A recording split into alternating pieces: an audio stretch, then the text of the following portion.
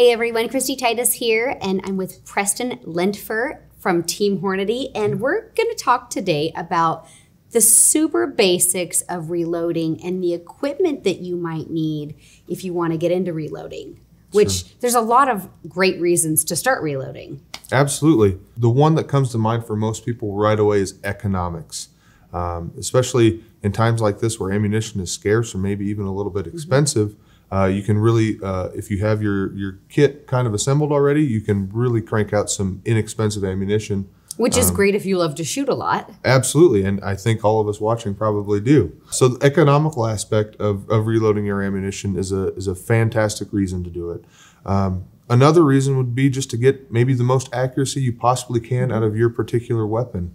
Another one, um, maybe you have grandpa or grandma's old gun that it's obsolete and there's no more ammunition made for it. You can you can roll your own and and shoot that old gun and have some good memories with it. Uh, another thing is just personal satisfaction, and that's honestly why I reload. Uh, you know, there's a lot of good ammunition from the factory out there today that you know really does the job. But I like to to to load my own and know that I hit the target with the ammunition that I loaded or that animal with the with the ammunition that I loaded. So, regardless of why you want to get into reloading, there is so much equipment. And for a new reloader, it can be a little bit overwhelming on where to start, which is sure. why we decided to kind of create this video series. So, in front of us and behind us, there's not enough room on the table to put everything in one spot. Uh, we have some basics that you're going to need from a fundamental standpoint in reloading. And a lot of the components that you'll find within reloading are things that you uh, may personally prefer. There are things that you have to have, and then there's things that there's lots of opinions on. Um, so we're going to kind of walk people through some things that we have here that work for you and your team when you're assembling ammunition here at the Hornady factory. Yeah, and we'll kind of just forget about the the main four powder, bullet, brass, and primer. Mm-hmm. Uh, you have to have those regardless of the situation to make ammunition. Uh, but we need to start with a press, mm-hmm. and we need to decide. Uh, there's two styles out there basically. There's single stage or progressive. Now, single stage, you're going to do one function of, of the reloading process at a time. You can really pay good attention, uh, but it is a little bit slower than a progressive. Mm-hmm. A progressive, you're actually doing multiple functions of reloading at one time with one handle stroke. Mm-hmm. So every pull of the handle, you're cranking out a finished round of ammunition. And that goes from your, filling your powder charge, uh, putting inserting your primer pockets, mm-hmm. seating bullets. So it can take what would normally be in a single stage multiple step processes and make it into one more expedited process. But with that, a little more complicated to use and learn, but like with everything, once you learn it, it's easy to it's easy to do. It's just kind of going over that learning curve of getting getting familiar with your progressives. Right. Yeah, and, and I do recommend new new shooters, new reloaders start out with a single stage. Mm-hmm. It's just much easier to follow what's going on. Um, typically, you can probably load with three to maybe 500 rounds of a, uh, an hour with a progressive press, whereas with a single stage, you're probably closer to 100 rounds an hour. Mm-hmm. So it really also comes down to deciding on that how much do you plan to shoot? Yeah. Do you really need a progressive mm-hmm. for the amount of shooting that you're going to do? And that really comes down to, to personal decision. I have both, and I probably load on my single stage more than my mm-hmm. progressive. So if you guys have extra time and you're looking to pick up a new hobby, reloading is maybe going to be your thing because uh, if you love shooting, it's it's a great way to to put away the ammunition. So you know we have lots of opportunity right. to shoot. And you know the biggest component of price with reloading is your brass. So Indeed. you know if you're buying factory ammunition you retain that spent brass and you can then use that to reload. It's a great way to kind of have the best of both worlds if you will um, in, in, acquisition of brass um, and then moving forward into reloading. So First of all, I think most people, you know, they don't know where to start. So you guys at Hornady, every four years, you come out with a kind of a handbook of reloading. And what I really love about this book is the first, you know, beginning portion of this book is basically like the nuts and bolts of how to. Um, so if you don't know how to reload, this book will kind of serve as a diary for you and get you started. But what's great about it is it's really the recipe book. So it's going to give you all the information you need from, you know, selecting a bullet knowing um, seating depths, powder charges, and it's really designed to keep everyone safe. We want everybody safely and properly reloading, and this book is really a great way to do that. Sure. And there are a lot of variables uh, out there. So we want folks to start low, work high. That's always, always mm-hmm. the recommendation. Uh, don't just start right at the maximum mm-hmm. charge. Um, but we'll move on to more equipment that you'll need because there mm-hmm. is a bunch of it. Um, calipers, for example, the, you can get these in dial or digital. Um, so you can actually have it just you'll you'll pull that open and it'll actually read it read you uh, what the measurement mm-hmm. is with digital. Um, this is a dial set of calipers here, but this is going to help you ensure that you have the right overall length. Mm-hmm. Maybe you're you've seated the bullets to the correct depth. If you don't, you could jam it into the rifling and have a pressure event. So these are absolutely crucial as well as safe reloading data for for reloading. Um, some more optional things. Um, actually, not optional, but you're going to need a scale absolutely have to know how much powder you're putting into that casing.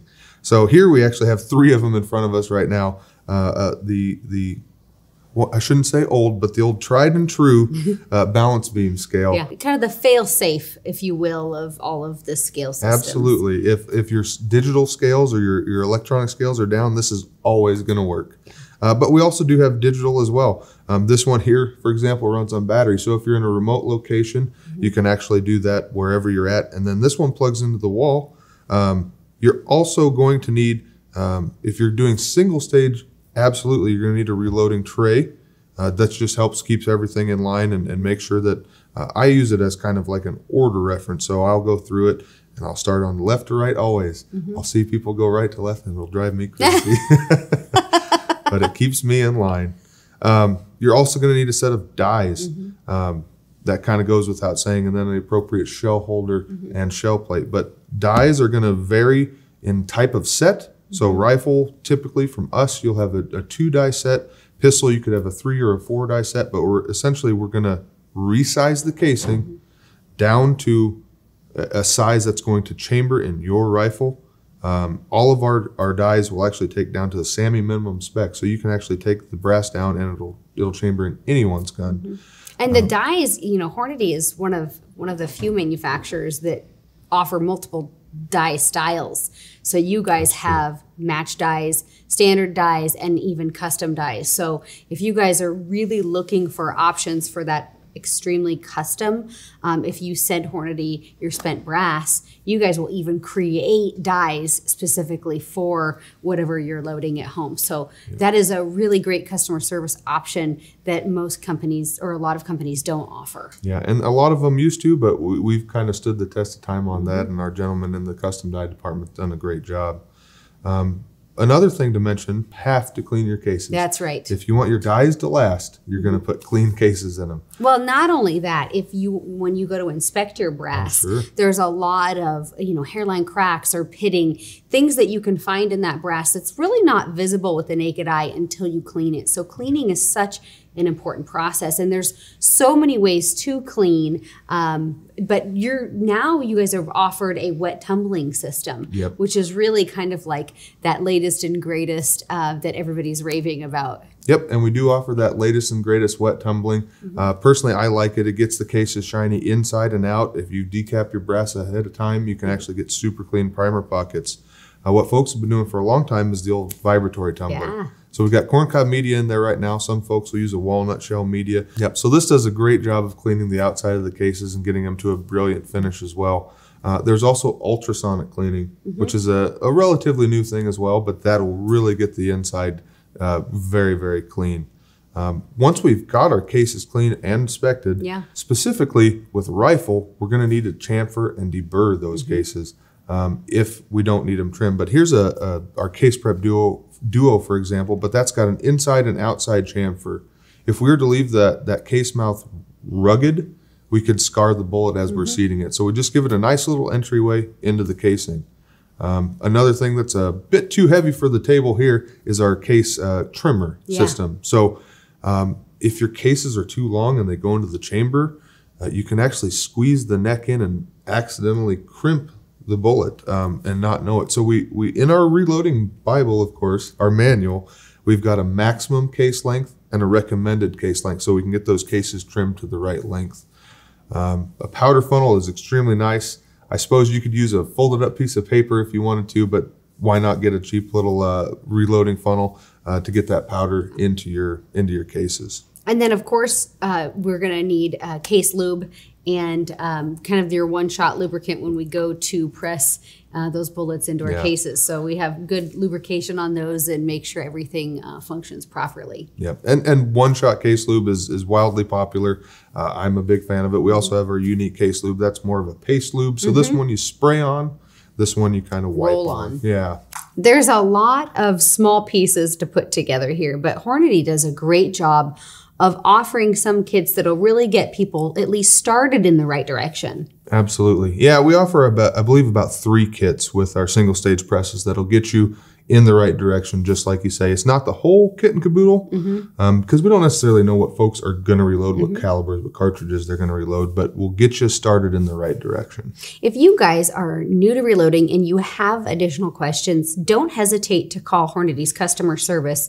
You guys have trained staff that the people here reload, they hunt, they shoot, and they really understand what goes into being successful and safe with reloading. So don't hesitate to call your customer service and talk to those individuals, and they'll help you make some great decisions. Yeah, and I used to be one of those uh, trained technicians. Um, we take great pride in being very easy to work with, and like you say, all of us shoot and reload, and and Hornady wants us doing those things so that we can give a genuine service right back to the customer. If you guys are looking for more information or would like to shop Hornady products, go to your local dealer or you can go online to hornady.com and learn more.